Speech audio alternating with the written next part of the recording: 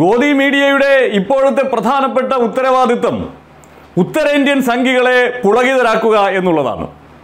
അതിനുവേണ്ടി അവർ നടത്തുന്ന സർവേയിലൊക്കെ ദക്ഷിണേന്ത്യയിലെ സംസ്ഥാനങ്ങളിൽ ബി ജെ പിയുടെ വൻ കുതിപ്പാണ് എന്ന പ്രതീതി സൃഷ്ടിക്കും. ഉത്തരേന്ത്യയിൽ ഉണ്ടാകുന്ന നഷ്ടത്തിന് അങ്ങനെ ദക്ഷിണേന്ത്യയിൽ കൂടി ബി ജെ പിക്ക് നേട്ടമുണ്ടാക്കാനാകുമെന്ന് ഉത്തരേന്ത്യൻ സംഘികളെ പറഞ്ഞു പഠിപ്പിക്കും അവരത് വലിയ ആഘോഷമാക്കി മാറ്റും. ആ സ്ക്രീൻഷോട്ടുകൾ ഉപയോഗിച്ച്. അങ്ങനെ ഒരു ഉടായ്പ് സർവേ ന്യൂസ് എക്സ് എന്ന് പറയുന്ന ഗോദി മീഡിയയും പുറത്തു വിട്ടിട്ടുണ്ട്. അത്ര വലിയ പ്രചാരമൊന്നുമില്ലാത്ത ഒരു ചാനലാണ്. പക്ഷേ ഈ സംഘികളെ സംബന്ധിച്ചിടത്തോളം അവർക്ക് അനുകൂലമായി പറയുന്നതെന്തും അവർക്ക് വലിയ പ്രിയമുള്ള കാര്യമാണ്. അതുകൊണ്ട് തന്നെ അതിന്റെ സ്ക്രീൻഷോട്ടുകൾ ഉപയോഗിച്ച് കേരളത്തിൽ ഇതാ ബി ജെ പി കുതിപ്പ് നടത്തുന്നു തമിഴ്നാട്ടിൽ ഇതാ ബി ജെ പി കുതിപ്പ് നടത്തുന്നു എന്ന പ്രചരണം നടത്തുന്നുണ്ട്. കേരളത്തിൽ ബി ജെ പി രണ്ട് സീറ്റ് നേടുമെന്നാണ്. തമിഴ്നാട്ടിൽ ബി ജെ പി നാല് സീറ്റ് നേടുമെന്നാണ് ഇവർ പറയുന്നത്. ഇനി ഈ സർവേയൊക്കെ വെറും ഉടായിപ്പാണെന്നും ഈ നാടിന്റെ ഒന്നും രാഷ്ട്രീയ പൾസ് എന്താണ് എന്നതിന്റെ ബേസിക്സ് പോലും അറിഞ്ഞുകൂടാതെയുമാണ് ഇവർ സർവേ നടത്തുന്നത് എന്നുള്ളതിന്റെ തെളിവാണ്. കേരളവുമായി ബന്ധപ്പെട്ട് ഇവർ പുറത്തുവിട്ടിരിക്കുന്ന സ്ക്രീൻഷോട്ട് അപ്പോൾ അതിനകത്ത് ബി ജെ പിക്ക് രണ്ട് സീറ്റ് കോൺഗ്രസിന് പതിനൊന്ന് സീറ്റ് എൽ ഡി എഫിന് നാല് സീറ്റ് പിന്നെ ഒരു മൂന്ന് സീറ്റ് യു ഡി എഫിന്. വി ഡി സതീശന്റെ പടമൊക്കെ വെച്ചിട്ടുണ്ട്. കോൺഗ്രസ് എന്നുള്ള സ്ഥലത്ത് രാഹുൽ ഗാന്ധിയുടെ പടം വെച്ചിട്ടുണ്ട്. യു ഡി എഫ് എന്ന് പറയുന്ന സ്ഥലത്ത് വി ഡി സതീശന്റെ പടം വെച്ചിട്ടുണ്ട്. വി ഡി സതീശനും രാഹുൽ ഗാന്ധിയും എന്താ രണ്ട് പാർട്ടിയിൽ പ്രവർത്തിക്കുന്നവരാണോ? രണ്ട് മുന്നണിയിൽ പ്രവർത്തിക്കുന്നവരാണോ? അതായത് യു ഡി എഫ് എന്ന സംവിധാനത്തിന്റെ നേതൃപദവിയിലുള്ള പാർട്ടിയാണ് കോൺഗ്രസ് എന്നുള്ള സാമാന്യമായ ആ രാഷ്ട്രീയ ബോധം പോലും ഇല്ലാതെ കേരളത്തിന്റേത് എന്ന് പറഞ്ഞൊരു സർവേ ഇവർ പടച്ചുവിടുകയാണ് യു ഡി എഫ് വേറെ കോൺഗ്രസ് വേറെ. കോൺഗ്രസ് ചേർന്നതാണ് യു ഡി എഫ് എന്ന് ഈ രാജ്യത്തുള്ള സാമാന്യ ബുദ്ധിയുള്ള ആളുകൾക്കൊക്കെ അറിയാം. പക്ഷേ വലിയ ദേശീയ ചാനൽ എന്നൊക്കെ പറയുന്ന ഈ ന്യൂസ് എക്സ് പോലെയുള്ള മണ്ടന്മാർക്ക് അതുപോലും അറിയില്ല. ഇനിയുമുണ്ട് കോമഡി. ഇവരുടെ ഈ വീഡിയോ അവലോകനം പുറത്തു അപ്പോൾ ഈ കേരളത്തെക്കുറിച്ച് സർവേകൾ വരുമ്പോൾ നമ്മൾ അതിനെ സൂക്ഷ്മമായി നിരീക്ഷിക്കാറുണ്ട്. അപ്പോൾ ഇവരുടെ വീഡിയോ കണ്ടു. അപ്പോൾ വീഡിയോയിൽ ബി ജെ പി ഇവിടെ കേരളത്തിൽ അക്കൗണ്ട് തുറക്കുന്നു. ഭയങ്കര അത്ഭുതം സംഭവിക്കുന്നു എന്നൊക്കെ പറയുമ്പോൾ നമ്മളത് സ്വാഭാവികമായി കാത്തിരിക്കുമല്ലോ ഏതാണ് ഈ ബി ജെ പി ജയിക്കാൻ പോകുന്ന രണ്ട് സീറ്റുകളെന്ന് അത് അറിഞ്ഞുകൂടാ എന്ന് ഒരു ഉളുപ്പുമില്ലാതെ ഈ ആശാൻ നിന്ന് അവതാരകൻ നിന്ന് പറയുകയാണ് രണ്ട് സീറ്റ് ജയിക്കും അത് ഏതാണെന്നൊന്നും നമുക്ക് അറിഞ്ഞുകൂടാന്ന് പിന്നെ എന്ത് സർവേയാണ് ഇവർ നടത്തിയത് this is going to be opening opening of doors in Kerala. What these two seats will be, we don't yet know at this point of time. But the poll prediction says that the BJP might get two seats in Kerala വെറുതെ കറക്കി കുത്തുകയാണോ ചെയ്യുന്നത്? കറക്കി കുത്തിയാൽ പോലും ഞാൻ കറക്കി കുത്തിയപ്പോൾ എനിക്ക് ദാ ഈ രണ്ട് സീറ്റുകൾ ബി ജെ പി ജയിക്കുമെന്ന് കിട്ടി. എന്തെങ്കിലും പറയാമല്ലോ. അതുപോലും പറയാൻ സാധിക്കുന്നില്ല. എന്തൊരു വിഡ്ഢി കൂഷ്മാണ്ടങ്ങളാണ് തമിഴ്നാടിന്റെ കാര്യം എടുത്താൽ അതിലും രസമാണ്.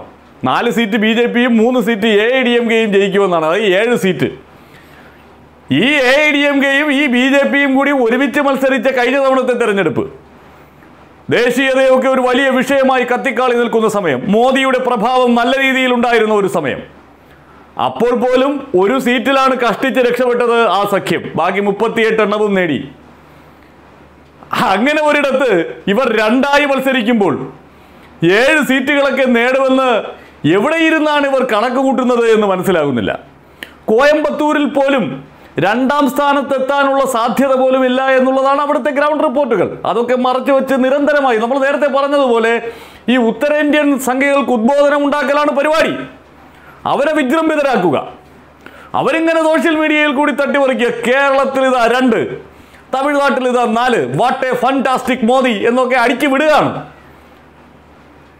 എന്തൊരു കഷ്ടമാണ് എന്നാലോചിച്ച് ഇവിടെ യു ഡി എഫ് ഏത് എൽ ഡി എഫ് ഏത് എന്ന് തിരിച്ചറിയാൻ പറ്റാത്തവന്മാരാണ് ഈ സർവേ നടത്തുന്നത്. ഒരു സാമാന്യ ബുദ്ധി വേണ്ട? ഇനിയിപ്പോ ലോജിക്കലി നമ്മൾ ചിന്തിക്കുകയാണ് കോൺഗ്രസിന്റെ സീറ്റുകൾ ഇത്രയെന്ന് പറയണം. കാരണം കോൺഗ്രസ് ദേശീയ തലത്തിൽ മുഖ്യ പ്രതിപക്ഷ കക്ഷിയാണല്ലോ. കണക്ക് കൂട്ടാൻ എളുപ്പത്തിന് അങ്ങനെ പറയുന്നു.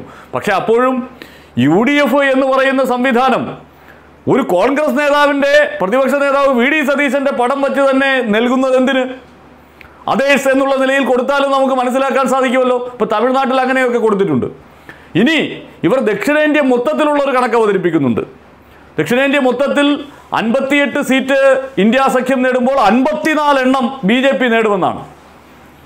അതായത് നേരത്തെ നദ്ദ ബി ജെ പിയുടെ സൗത്ത് ഇന്ത്യ സംസ്ഥാനങ്ങളിലെ അധ്യക്ഷന്മാരോട് പറഞ്ഞ ഒരു കാര്യമുണ്ട്. അൻപത് സീറ്റെങ്കിലും കിട്ടിയാലേ ദക്ഷിണേന്ത്യയിൽ നിന്ന് നമുക്ക് ഭരണം ഇത്തവണ ഉറപ്പിക്കാനാകൂ എന്ന്. അത് ഈ ന്യൂസ് എക്സുകാർ ഉറപ്പിച്ചു കൊടുക്കുകയാണ്. എവിടെ നിന്നാണ് ഈ അമ്പത്തിനാല് സീറ്റ് കിട്ടുന്നത് എന്ന് എത്ര തലപോകഞ്ഞ് ആലോചിച്ചാലും ഒരല്പം രാഷ്ട്രീയ ബോധമുള്ള മനുഷ്യന് സംശയമുണ്ടാകും. എവിടെ നിന്നാണ് കിട്ടുക? ഇപ്പോൾ കേരളത്തിലെയും തമിഴ്നാട്ടിലെയും കൂടി സീറ്റ് അൻപത്തി ഒൻപത് പുതുച്ചേരിയിലെ ഒന്ന് അറുപത് അങ്ങനെ ആ അറുപത് സീറ്റുകൾ ബി ജെ പി ഒരെണ്ണം പോലും ജയിക്കില്ല. പിന്നെ ഉള്ളത് കർണാടകയാണ്. കർണാടകയുടെ ഇപ്പോഴത്തെ രാഷ്ട്രീയ സാഹചര്യത്തിൽ ബി ജെ പിക്ക് പതിനഞ്ച് സീറ്റിനപ്പുറം ഒരു കാരണവശാലും കിട്ടില്ല. ഒരു കാരണവശാലും. കുറെ കൂടി ദയനീയമാകാനാണ് അവസ്ഥ. പക്ഷേ ഒരു കാരണവശാലും എന്ത് മഹാത്ഭുതം സംഭവിച്ചാലും പതിനഞ്ചിനപ്പുറം കിട്ടില്ല. പിന്നെ ഉള്ളത് ആന്ധ്രാപ്രദേശാണ്. ആന്ധ്രാപ്രദേശിൽ ഈ ടി ഡി പിയും പവൻ കല്യാണിന്റെ പാർട്ടിയും ബി ജെ പിയും കൂടി ചേർന്നതുകൊണ്ട് അവരവിടെ തൂത്തുവാരുമെന്നുമൊക്കെ ഇവർ പ്രവചിച്ചാൽ എന്തൊരു കഷ്ടമാണ് എന്നല്ലേ അതിനെ പറയാൻ സാധിക്കൂ. അവിടെയും പരമാവധി ഒരു എട്ട് സീറ്റ് ലഭിക്കാനുള്ള സാധ്യത പരമാവധി.